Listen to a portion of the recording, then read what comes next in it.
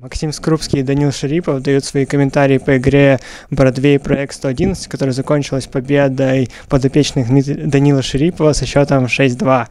Данил, если вы сравнивать с предыдущей игрой, как команда сыграла? Если в предыдущей вы, скажем так, сетовали на игру своей команды, то как оцените в целом сегодняшнюю игру?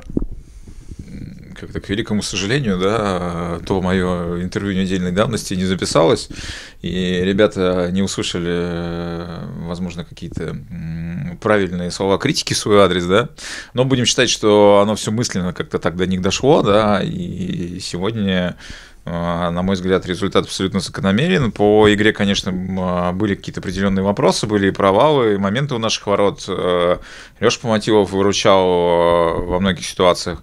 Но, с другой стороны, наверное, мы создали тоже как бы достаточное количество э, моментов для того, чтобы выиграть в любом случае.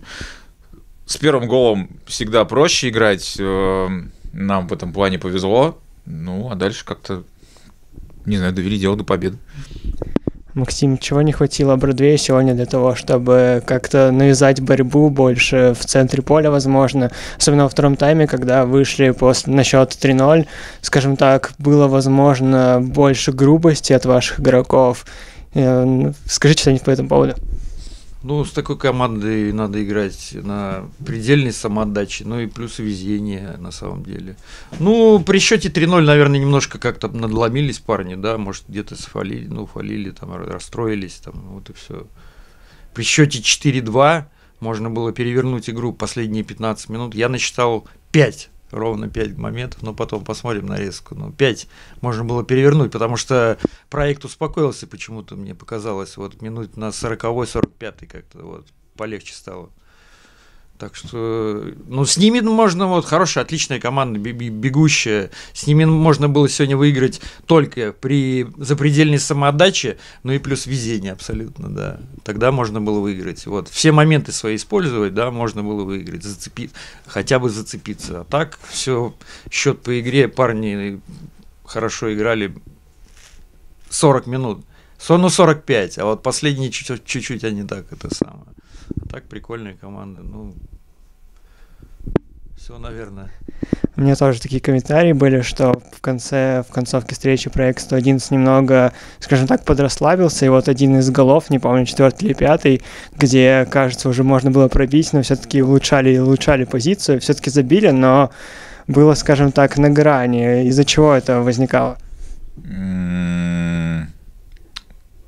Будем а, считать, что это такая как сказать, э, максимально дружественная отнош... Э, атмосфера в команде, где каждый атакующий игрок пытается э, улучшить ситуацию для своего партнера, для того, чтобы он отличился. На самом деле, да не знаю я, в каких-то эпизодах люди принимают решения, исходя из того, что происходит у них в этот момент в голове, ты им не залезешь, да? Да, наверное, большие ворота, и думаешь, ну, проще забить. Но, с другой стороны, думаешь, а что, большие ворота, сейчас отдам, и он точно тогда забьет, они у него совсем пустые будут. Пытается как-то улучшить ситуацию. В какие-то моменты пытается сыграть слишком красиво, когда это ну не нужно. Даже вот моменты в концовке у наших ворот, они э, были следствием, наверное, не, ну, по крайней мере, вот то, что я помню, такое явно голевое, там, удар в штангу на последней минуте, плюс там перед пятым голом э, мы чуть свои не пропустили. Э, это было следствием того, что мы пытались мячик сохранить в своей штрафной и как-то излишне самоуверенно действовали. Хотя в такие моменты иногда защитнику нужно попроще сыграть, да, там, не знаю, не имеет смысла там этого контроля ради контроля э, тики-таку в своей штрафной катать не надо. Особенно, когда соперник еще играть не бросил, да, и он как бы, ну, прессингует тебя.